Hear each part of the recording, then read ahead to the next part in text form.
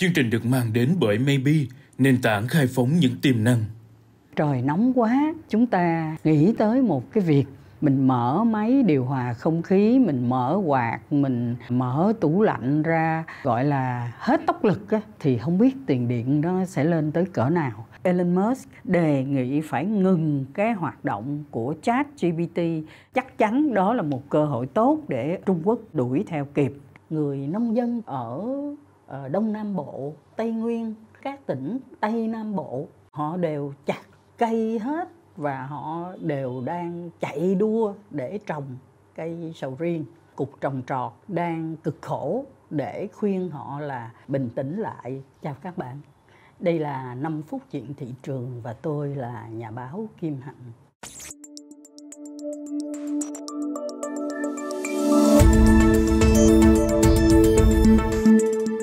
Câu chuyện của chúng ta hôm nay là về trí tuệ nhân tạo và một cái đề nghị khá là giật gân. Elon Musk là một nhà sáng tạo, một ông chủ giàu nhất nhì thế giới và rất nổi tiếng với lại Starlink, với lại Tesla. Elon Musk cùng với lại Eric Smith, giám đốc vận hành cũ của công ty Google, cùng với lại Steve Wozniak là người đồng sáng lập của Apple. Những cái tên khổng lồ đó cùng với 1.800 những người chuyên gia về IT, những người kỹ sư vi tính, những người kỹ sư về trí tuệ nhân tạo đã gửi một cái đề xuất đề nghị phải ngừng cái hoạt động của chat GPT trong vòng 6 tháng bởi vì cái sự mà tiến triển không ngừng của nó tới chat GPT 4 là người ta bắt đầu thấy nó phát sinh ra những hành vi không được báo trước, cũng như là những nguy cơ tiềm tàng cho xã hội và nhân loại. Những người yêu cầu phải dừng hoạt động đó, nói những cái khái niệm mà chúng ta thấy là nó rất là nghiêm trọng như vậy. Ngược lại, ngày 11 tây tháng 4 cơ quan quản lý không gian mạng của Trung Quốc đưa ra một cái dự thảo luật là họ sẽ kiểm soát chặt chẽ hoạt động của chat GPT Những cơ quan nào mà muốn phát triển, muốn làm dịch vụ về chat GPT là phải báo cáo cái đánh giá về bảo mật của chính mình coi là nếu mà chat GPT nó hoạt động thì có thể đảm bảo được cái bảo mật các cái thông tin của quốc gia chẳng hạn nó tới đâu. Trong khi đó cũng có ý kiến của chính những chuyên gia của Trung Quốc. Họ phản hồi lại cái đề xuất của Elon Musk là cái việc dừng này không có rõ ràng về cái yêu cầu, cái mục đích và gần như là nó chỉ có lợi cho cái hoạt động mà chuẩn bị cái box chat Ernie bot của Trung Quốc mà thôi. Bởi vì theo như là giới chuyên gia của ChatGPT họ đánh giá đó là hiện nay cái cuộc chuẩn bị gọi vốn đầu tư vào cái Ernie bot và chuẩn bị để ra mắt và đưa vào ứng dụng trong đời sống xã hội đó họ cho là còn kém cái chat GPT mấy tháng nữa. Do cái đầu tư về cái mảng này của uh, Trung Quốc á, là họ phải chạy đua cùng một lúc cả cái nghiên cứu cơ bản lẫn cái ứng dụng trong cái ờ, thực hành. Và nếu mà dừng 6 tháng hoạt động của ChatGPT, đó cũng là một thời gian để cho các cái cơ quan của Erniebot này, họ củng cố thêm cái phần nghiên cứu cơ bản của họ. Một cái cuộc còn đang tranh luận, ChatGPT nó chạy rất nhanh. Người ta nói là trước đây nó dựa vào data dữ liệu, thì bây giờ nó tự tạo ra data dữ liệu. Bill Gates thì còn bảo vệ cho ChatGPT là chính nó sẽ mang lại những tiến bộ ngoạn mục về sức khỏe, về giáo dục, về tính chính xác của thông tin. Và thưa các bạn, chúng ta thử nhớ lại coi Bill Gates là ai. Bill Gates chính là ông chủ của Microsoft trước đây và Microsoft chính là công ty đã đưa cái chat GPT ra thị trường chat GPT không biết là nó sẽ còn tiếp tục như thế nào. Chúng ta nghe là đề xuất của Elon Musk và của Eric Smith, nhưng mà chưa thấy có một cái sự phản hồi là sẽ có dừng hay không.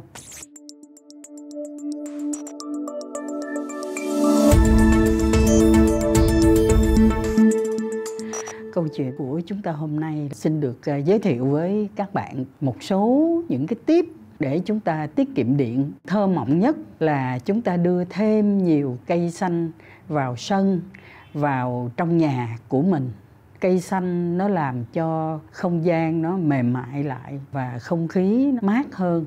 Điểm thứ hai, chúng ta làm thêm những cái rèm cửa vừa là giữ ánh sáng đồng thời linh hoạt đón gió vào ở trong nhà để giảm bớt cái điện năng mà chúng ta tiêu thụ. Thứ ba chúng ta tận dụng cái độ trên giữa nhiệt độ của ngày và đêm. Buổi chập tối á, là bạn mở máy lạnh độ chừng à, 26 độ một lát khi mà thấy cái bầu trời dịu nắng và nhiệt độ nó giảm thì bắt đầu mở cửa sổ ra và tắt luôn máy điều hòa. Như vậy chúng ta sẽ sử dụng cái khí trời mát lạnh ban đêm để không có cần thiết phải sử dụng máy điều hòa. Thứ tư mình thường hay mở máy điều hòa không khí độ chừng 24 độ. Thì có người ngồi tính á, bấm máy và nói là nếu như chúng ta tăng lên 25 độ tức là 1 độ C thì cái điện năng mà tiêu thụ á, nó sẽ giảm từ 2 cho tới 3%. Như vậy nếu mà giữa 24 với 25 thưa các bạn chúng ta không thấy nó trên nhiều nhưng cái tiết kiệm được điện thì nó khá là rõ rệt. Giải pháp thứ năm là chú ý tới chỉ số hiệu suất của năng lượng EER có tiết kiệm năng lượng một cái cách làm nữa mà chắc là ít có các bạn quan tâm nhà của chúng ta mà máy điều hòa không khí á, lâu một thời gian vài tháng cái mình thấy sao nó không lạnh như là cái thời gian mình mới mua ban đầu. Tức là do bụi bám vào ở trong những cái tấm chắn của cái ờ, bộ phận mà làm lạnh đó là khí lạnh nó ra nó không có đủ để đảm bảo đúng như là cái máy lạnh phải cung cấp. Do đó chúng ta nên lau định kỳ những cái thiết bị dùng để làm lạnh. Một cái cách tiết kiệm nữa là tối mình đi ngủ, mình rút điện hết những cái thiết bị mà sử dụng để làm lạnh nếu mà chúng ta không cần thiết. Cái điều này sẽ có người tranh luận nói là, ôi trời, mình đã tắt cái thiết bị rồi thì nó đâu có còn cần thiết cái gì mà phải rút luôn điện ra khỏi. Nhưng mà rút ra khỏi luôn cái đồ cắm điện đó thì nó vẫn đảm bảo là nó có thể tiết kiệm bởi vì không có cần có cái năng lượng để duy trì cái mối quan hệ giữa cái đồ cắm với lại thiết bị. Còn một điều cuối cùng là điều mà chúng ta cũng ít có để ý kiểm tra lại hết cái chuỗi bóng đèn ở trong cái ngôi nhà hay là ở trong cái gian phòng của mình. Bởi vì thường á, là có bao nhiêu điện là mình bật lên hết. Rồi là chúng ta sẽ xài phí, bởi vì sẽ có những cái bóng đèn mà cái ánh sáng của nó không có tốt gì cho cái thị giác của mình hết.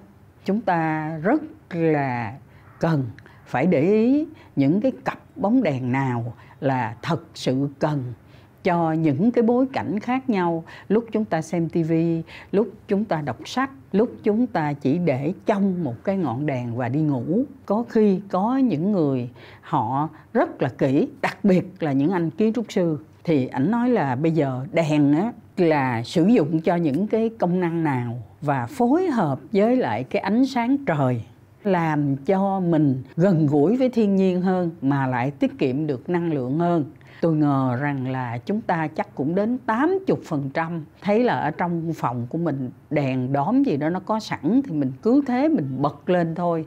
Chứ bây giờ chỗ nào gần cái cửa sổ, chỗ nào gần cái cửa cái, mình phối hợp cái ánh sáng cho từng buổi như thế nào thì cái này có vẻ mình hà tiện quá, mình chi ly quá. Nhưng mà thưa các bạn, đó là cả một cái nghệ thuật để tiết kiệm năng lượng và lại làm giàu cái không gian thiên nhiên cho cuộc sống của mình ở tại nhà.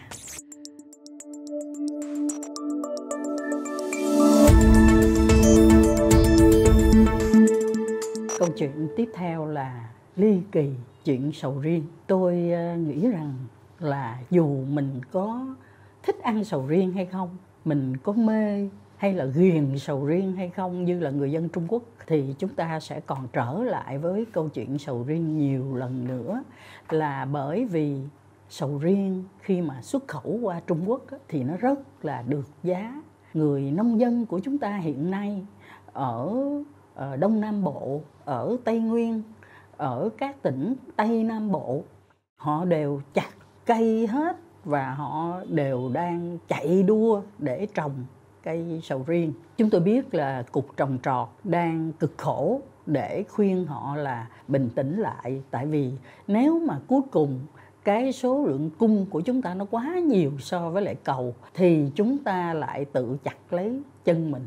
Mới đây, chúng ta nghe một cái tin bất ngờ, bởi vì trước đây một khoảng thời gian dài thì ở bên Trung Quốc hải quan họ cũng chỉ cấp cho chúng ta có mấy chục cái mã số về vùng trồng thôi.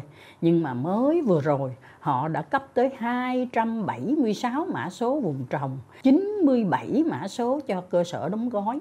Như vậy các bạn thấy là những cái người trồng sầu riêng hiện nay đang có một cái cơ sở vật chất hỗ trợ cho cái việc mình xuất khẩu sầu riêng nó khá là vững chắc và chúng ta thấy rằng sau một cái khoảng thời gian mình xuất khẩu sầu riêng giá tốt như vậy thì chúng ta thấy Thái, Philippines, Mã Lai hiện nay họ cũng đều ra sức trồng và họ thu hoạch nhiều sầu riêng. Hai yếu tố cạnh tranh quan trọng nhất là chất lượng sầu riêng ổn định và cái mức giá của sầu riêng cũng tương đối ổn định. Đối với Việt Nam chúng ta, một cái thị trường cạnh tranh mà nó còn hơi là nó tự nhiên chủ nghĩa thì sẽ còn khó trong những cái yêu cầu để chúng ta bao giờ cũng xuất hiện một cách là được tin cậy và có uy tín.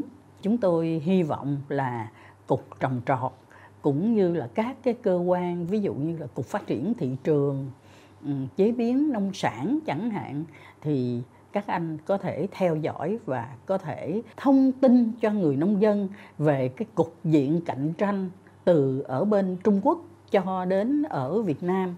Hôm nay tôi vừa mới đọc một cái tin là ở Trung Quốc người ta trồng thanh long là cái số lượng thanh long mà họ trồng là đã nhiều hơn Việt Nam của chúng ta trồng được rồi.